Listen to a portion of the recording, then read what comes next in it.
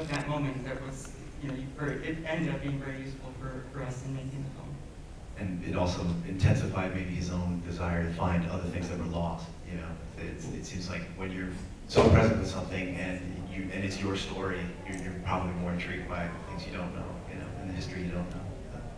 Yeah, I mean, I think the, the, the question that you first asked about love, I mean, I think his current project on the history of, you know, of the, of the United States through a gay lens is motivated through that kind of love for community and, and love for, and just, uh, you know, and, and recognizing love, same-sex love throughout, throughout history that is, you know, very important to him at, at this stage of his life. And, yeah, maybe it is because he's in a more kind of reflective place and he's not, you know, in, in kind of a battle state of mind. Although he can easily slip back into that often. Over here. Um,